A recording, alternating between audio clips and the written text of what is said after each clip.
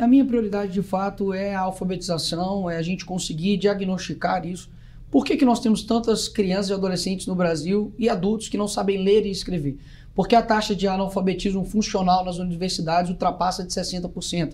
Por que, que nós investimos muito uh, na, na, educação no nosso Brasil em dinheiro e ainda assim nós conseguimos ter é, rankings horríveis na educação? As nossas universidades não estão entre as 200 é, no mundo. Nós temos um investimento de 6% do, do PIB, sendo que os países da OCDE têm 5,5% e tem um, um ranking muito melhor de educação. O que acontece? Então, esse que eu quero deixar como legado na Comissão de Educação. Nós conseguimos diagnosticar o porquê a educação do Brasil está tão ruim. Esse, essa é a minha meta.